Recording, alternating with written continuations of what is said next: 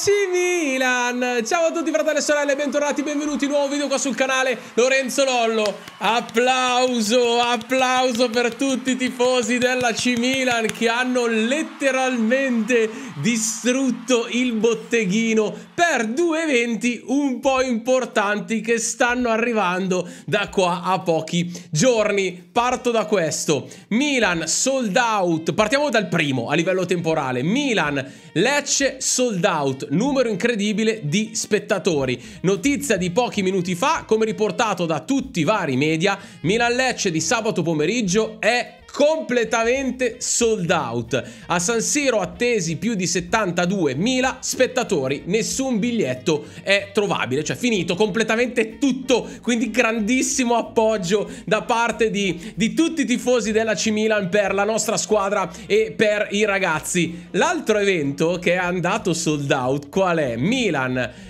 San Siro sold out eh, per il derby, quello che arriverà tra qualche giornata. San Siro è già sold out per il derby del 22 aprile, con i tifosi del Milan che hanno letteralmente polverizzato i biglietti e non si arriverà nemmeno alla vendita libera. Ai sostenitori nerazzurri saranno riservati solo 7500 biglietti nel settore ospiti, mentre il resto dello stadio sarà occupato solo da tifosi del Milan.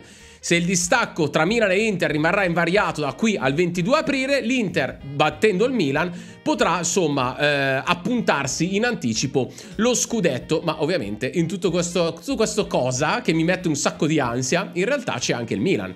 Il Milan si è, si è, cautelato proprio in sede di vendita per assicurarsi un San Siro pieno della propria gente, aggiungendo una fase dedicata esclusivamente ai possessori della carta cuore rossonero, che è la tessera, insomma, del tifoso milanista. L'obiettivo è stato centrato in poche settimane e la stragrande maggioranza dello stadio spingerà ad ogni scatto Rafa Leao, su ogni pallone in aria Olivier Giroud e tutte le volte che ci sarà bisogno di Mike Magnan, appunto per fare le proprie parate. Dalla sfida ai nerazzurri passerà anche una fetta, scrivono loro, del futuro della squadra e del mister, da cui il club si aspetta un derby all'altezza. Speriamo speriamo e incrociamo tutte le possibili dita. Proprio la Coppa, obiettivo stagionale del Milan che non l'ha ancora vinta adesso più o meno. Eh, all'interno di questo video arriveremo a parlare anche di questa cosa, ma...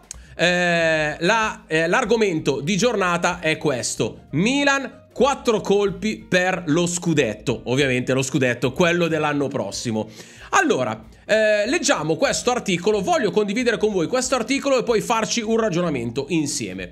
Il Milan si prepara al mercato estivo del 2024 con quattro grandi priorità. Andiamo a vedere. La prima è il nuovo centroavanti, un centrocampista difensivo, un difensore centrale e un vice Teo Hernandez. Direi che su questa prima parte di articolo più o meno direi che tutti i tifosi della C Milan sono concordi, ci serve un grande centroavanti, nonostante quest'anno Oliviero stia facendo una grandissima stagione e nonostante il Milan quest'anno stia sopperendo alla mancanza di un bomber con tanti piccoli bomber, tanti nostri giocatori che stanno superando i 10 gol in stagione, un centrocampista difensivo, qua ci sarebbe da rispolverare tutta la questione tattica eh, della quale abbiamo già discusso ampiamente eh, sia qua su YouTube che su TikTok nei video quelli precedenti precedenti, sì, al Milan probabilmente, probabilmente oggi in rosa mancano le caratteristiche di un centrocampista con caratteristiche eh, molto più difensive. L'unico in rosa, come vi raccontavo ieri, probabilmente in questo momento è Yunus Musa e, o più che altro è Tommy Pobega. Un difensore centrale, anche qua eh, bisogna capire, difensore centrale bisogna capire anche chi, chi ci lascerà e un vice Teo Hernandez. Eh, sì, un esterno sinistro, un terzino sinistro al posto di Teo, al netto che l'anno prossimo magari venga eh, portato Terracciano a fare il vice Teo Hernandez. Andiamo avanti. Per il ruolo di centrovanti, i rossoneri hanno messo gli occhi su Zirze. Vabbè, direi che su, su Joshua non c'è assolutamente nulla da dire. Grandissimo giocatore, grandissimo fisico, grandissima tecnica. Forse l'unica postilla che mi permetto di aggiungere alle caratteristiche di, di Zirze è il fatto che oggi, e non dico a caso oggi perché credo che in futuro maturerà e diventerà poi un giocatore molto importante anche sotto l'aspetto dei gol, è proprio questo, cioè il fatto che oggi Zirze è un attaccante, è, è quasi un, un, un 9,5-10 più che un 9 punta vera. Cosa che invece non sono altri giocatori che vengono menzionati all'interno di questo articolo. Si parla di Jonathan David, vabbè, eh, si è ripreso dopo una stagione dove non aveva fatto benissimo nelle ultime settimane, negli ultimi mesi sta facendo mo molto bene, Benjamin Sesco, vabbè raga, che ve lo dico a fa, Sesco, grandissimo giocatore, Santiago Jimenez, ok, e eh, Gyökeres, anche Gyökeres ne abbiamo già parlato anche in altri video, gran bel giocatore, come vi raccontavo l'altra volta, l'ho visto eh, in, in, determinate partite, l'ho visto anche contro l'Atalanta, mi ha fatto un gran bel, gran bella impressione, gran bella impressione. Rimane solo da capire, e qua chiudo il discorso attaccanti, rimane solo da capire se un giocatore come Gyökeres è il famoso eh, giocatore da una stagione incredibile o può ripetersi per tutte le stagioni che verranno. Secondo me, fatemi sapere qua sotto nei commenti che cosa ne pensate, secondo me Gyökeres è un gran bel attaccante. Tutti colpi da 50 milioni di euro, ad eccezione ovviamente di David, perché è l'unico in scadenza 2025. Anche lì, Bisogna capire, cioè eh, Oliviero va, eh, Luka Jovic va, rimane, Oliviero rimane, va in America, va in MLS come parlavamo di altri giorni, eh, quello è una cosa importante da capire, perché se ti partono tutte e due, o perlomeno se ti parte Oliviero devi fare una punta, se invece non confermi Luka Jovic di punte ne devi fare due, quindi iniziano a essere tante le operazioni da fare. Per il centrocampo si cercano profili come Fofana, ne abbiamo già parlato ieri, eh, eh, Turam, Kepren Turam, ne abbiamo già parlato l'altro ieri, ma non si escludono affari alla Loftus Cheek, cioè giocatori magari molto meno in hype come nome ma che eh, puoi farci l'affarone come abbiamo fatto per tanti giocatori che abbiamo comprato per Capitan America, Chris Pulisic per Ruben Loftus-Cheek per TJ Renders, il nostro Tigianni tutti giocatori che magari all'uscita del nome magari non hanno riscontrato diciamo tutto questo appoggio da parte dei tifosi del Milan in realtà poi quando sono entrati in campo hanno fatto vedere che di, di classe di gol e, e, di, e, di, e di voglia ne hanno veramente veramente tanta. In difesa si pensa a Badia Sile, Badia Scile, non so come si pronunci, considerato, scrivono loro, che Kier andrà via e Calulu potrebbe essere ceduto. Rimango della mia idea su Pierre, non capisco perché si debba cedere un giocatore importante come Kier. Quindi si valuterà in futuro anche la situazione di Ballotouré e di Vocorighi, eh già perché loro probabilmente ritorneranno. Comunque il budget potrebbe essere incrementato da eventuali offerte milionarie per giocatori come Teo Hernandez. Io rimango della mia idea, fatemi sapere qua sotto cosa ne pensate. Io i miei giocatori forti me li tengo e me li voglio tenere belli stretti al mio petto rossonero. Poi se arriveranno offerte ovviamente fuori logica e il club deciderà di prenderle in considerazione, quello è un altro discorso, ok? Però a me da tifoso del Milan, se mi chiedete vorresti venderti o no, io Teo me lo voglio tenere. Teo, Mike, eh, tutti, Fica Yotomori, Rafa Leao, io me, me, li voglio tenere tutti stretti qua, attaccati al mio petto rosso-nero. Bene ragazzi, queste erano le notizie eh, riguardo a questi quattro colpi che il Milan dovrebbe fare in ottica di calciomercato. Rimanete qua perché adesso parliamo del derby e del, dell'Europa League, eh, in ottica insomma di, dello sviluppo della nostra squadra.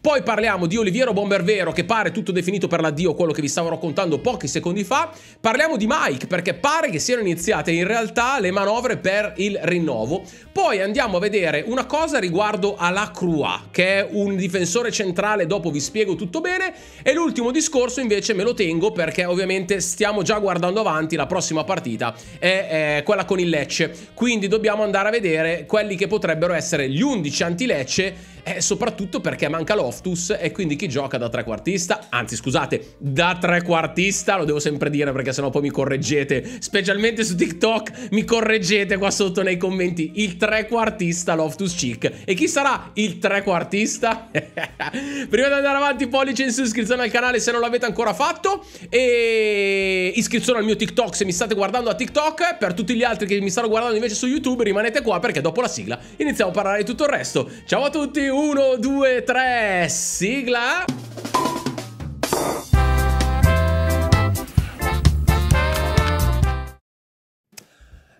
Oh, la notizia è questa. Allora, iniziamo a parlare di questa cosa che eh, riguarda le parole di Pedulla, ovviamente con tutto il rispetto per Pedulla e ci mancherebbe. Io eh, vi leggo cosa dice lui, poi vi faccio un mio ragionamento.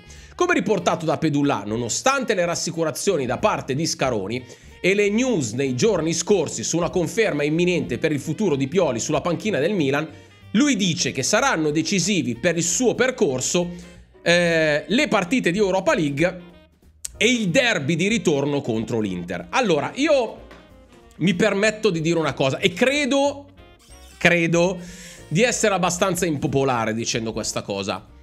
La scelta della permanenza o meno di un componente dello staff non è riconducibile e non deve essere riconducibile ad una singola partita o ad una singola passo il turno o non passo il turno di Europa League. Nonostante sia importantissimo passarlo e nonostante sia fondamentale una cosa del genere, perché i professionisti, e qua ovviamente stiamo parlando di una delle società eh, ovviamente più grandi al mondo con dei professionisti che ci lavorano e sono pagati milioni di euro per, per stare a lavorare nella una delle più grandi società di calcio al mondo.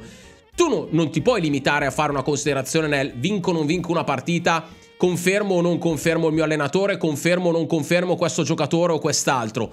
È ovvio che un professionista che prende delle decisioni deve guardare a largo spettro, non può guardare una partita. Come ha affrontato questo giocatore tutta la stagione? Non una singolo match. Come ha affrontato il giocatore tutta la stagione? Possiamo affidarci a lui anche per l'anno prossimo? Come ha gestito un allenatore tutta la stagione? Come ha gestito tatticamente un allenatore tutta la stagione? Che cosa avevamo chiesto a questo allenatore come obiettivi in tutta la stagione? Se questi obiettivi, che sanno solo loro, eh, noi non li sappiamo, che sanno solo loro, saranno raggi stati raggiunti o meno, o se questi obiettivi per un motivo o per l'altro verranno fatte delle considerazioni diverse, queste sono solo considerazioni, chiudo, che, sanno fare solo, che potranno fare solo loro. Noi non sappiamo che cosa hanno chiesto a giocatori, a determinati giocatori. Eh, no, vi faccio un esempio perché vi parlo anche di giocatori, perché magari Esempio, dall'esterno destro del Milan, venduto Salamakers e Messias, il Milan va a prendere Ciocquez e Pulisic e dai due il Milan voleva 20 gol. Se non arriviamo a fare 20 gol, dicendo una cifra a caso per capirci, se non arriviamo a fare 20 gol con questi due giocatori, vuol dire che l'anno prossimo in fase di calciomercato dobbiamo andare a prendere, vendere questi due, sto esagerando eh, vendere questi due, Pulisic e Ciocquez e andare a prendere un altro esterno destro, perché noi dalla fascia destra vogliamo almeno 20 gol, ok? Sto ipotizzando. Quindi, come funziona per i giocatori, funziona anche per l'allenatore. Che cosa abbiamo chiesto a Stefano Pioli in questa stagione? L'ha raggiunto, non l'ha raggiunto? Io non so che cosa è stato chiesto al mister, ma le persone intelligenti, i professionisti intelligenti, lavorano in quest'ottica, non guardano la singola partita, con tutto il rispetto per Pedulla, non guardano la singola partita o il singolo evento, guardano tutto lo sviluppo di una stagione, al netto che comunque fino ad oggi mai nessuno in società, e parlo di ehm, interviste ufficiali, mai nessuno ha mai messo in dubbio la permanenza di, del, del, del mister. Andiamo avanti. Giroud, tutto definito purtroppo ragazzi. Eh, come com confermate dalle numerose news, è tutto definito per l'approdo di, di Giroud in Major League Soccer ai Los Angeles a partire dalla prossima estate. Quindi ragazzi, è arrivata probabilmente la conferma definitiva, dobbiamo salutare il nostro Oliviero Bombervero, gli faccio un grandissimo in bocca al lupo, mi auguro che da qua a fine stagione mi auguro di alzare un qualcosa di importante. Non dico nulla. Magari proprio alzarlo grazie ai piedi di Oliviero sarebbe una grandissima soddisfazione, ragazzi. Per noi da tifosi. E per lui, per lui come calciatore, perché se lo merita. Oltre allo scudetto, Oliviero si merita tanto. Massimo rispetto per Oliviero, ragazzi. Oltre a essere un grandissimo giocatore, sempre disponibile, grandissima persona, educato, mai una parola fuori posto mai un atteggiamento fuori posto. Insomma, grandissimo Oliviero. Non so voi cosa ne pensate. Io per Oliviero, ragazzi, soltanto cuori, veramente. Mi, mi, mi, mi è sempre piaciuto un sacco. Allora, eh, a differenza di quanto è emerso nelle ultime settimane, in realtà negli ultimi due giorni stanno uscendo un sacco di notizie, tra, i, tra le quali, riguardo a Mike Magnan, ci sarebbe quella che il Milan sta pensando seriamente di, e ovviamente è così, di fare l'adeguamento di contratto e il rinnovo di contratto per Mike. Il Milan deve la sua attuale serie di 6 vittorie consecutive anche alla continuità di Mike Magnan, il cui contratto scade nel 2026.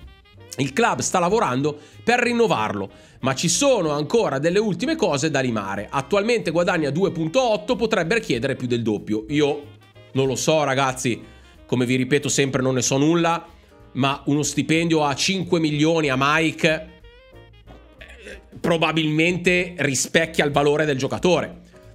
Quindi, come racconto sempre nei video, quando il valore di determinati giocatori si alza, eh, in inevitabilmente si deve alzare anche lo stipendio. La qualità che ti porta Mike, miglior portiere al mondo, eh, devi pagarlo come miglior portiere al mondo. Teo, miglior terzino sinistro del mondo, eh, devi pagarlo come miglior terzino sinistro del mondo. Rafa Leao, tra le 3 migliori ali sinistre del mondo, e eh, infatti si piglia 7 milioni di euro. Ora, magari Mike e Teo, magari non so se sono quelle cifre che richiedono, però 5, 6 cioè, considerando che altri giocatori in Serie A che valgono molto meno hanno preso 6 milioni e mezzo di euro di, di stipendio. Andiamo avanti. Poi vi devo parlare di La Croix. Perché? In difesa il Milan sta pianificando un'estate di aggiustamenti e tra tutti i nomi, nella quale abbiamo già parlato prima, prima della sigla, ci sarebbe anche il nome di Lacroix perché i rossoneri avrebbero ripreso i contatti con Maxence Lacroix del Wolfsburg che potrebbe sostituire proprio il partente Simon Kier, Simon Kier in scadenza di contratto a fine stagione. Lacroix, 25 anni, ha esperienza in Bundesliga e sarebbe un'ottima aggiunta per la difesa del Milan, abbassandone chiaramente l'età media. Il Milan spera di ottenere la Croix che è valutato circa una ventina di milioni, però a condizioni favorevoli, ma dovrà affrontare la concorrenza di altre squadre italiane, tra cui la Juventus. Non mi preoccupa. Magari risulto un po', come si dice, un po' spocchioso con questa cosa. Ma... Cioè, fossi io la Croix... Vado al Milan. Ma perché? Non perché sono tifoso del Milan, ma vado al Milan perché, insomma, il Milan è una squadra di giovani, una squadra in completa ascesa, una squadra... Cioè, una cosa... Milan, progetto, mm, squadra che eh, a livello finanziario è zero, cioè quindi economicamente stiamo volando. Sul campo comunque vada, l'anno scorso eravamo in semifinale di Champions, quest'anno siamo ai quarti di finale di Europa League, siamo sempre competitivi. Eh, l'anno scorso non è andata benissimo, siamo arrivati quinti in, campionato ma siamo andati in Champions. L'anno prima abbiamo vinto il campionato, quest'anno arriveremo secondi, terzi sei comunque sempre competitivo. Anche la Juve, voi direte, Lolo, anche la Juve, certo. Però boh, io fossi io andrei al Milan, ma perché il mio cuore è rosso-nero. Il club sta anche, anche valutando la possibilità di acquistare Buongiorno. Ma la valutazione economica da parte del presidente, eh, il vigile urbano Cairo, è sempre un ostacolo. Eh, raga, rimaniamo sempre lì. Che vedevo di, raga, se, se il vigile urbano Cairo continua a chiedere cifre 50-60 milioni per Buongiorno. Mi dispiace per il buon Alessandro Buongiorno, ma credo che ci sarà ben poco da fare. Uno sguardo, ragazzi, anche alle scelte di Pioli per Milan-Lecce. Teo ritorna a giocare, Ruben invece non ci sarà e pare che sarà eh, sostituito a, sulla tre quarti, quindi a centrocampo sulla tre quarti da Isma Benasser ma credo che comunque ci sarà tempo nei prossimi giorni di parlare di questa cosa. Raga, vi saluto e vi ringrazio. Eh, ah, scusate, anche Chiere Pobega potrebbe essere coinvolti nelle rotazioni, quindi potrebbe tornare Tommy a calcare, a calcare il campo dopo tanti anni. Oh, raga, pollice in su, iscrizione al canale se non l'avete ancora fatto. Eh, basta. Ciao a tutti, forza Milan e vada via anche l'Inter. Ciao!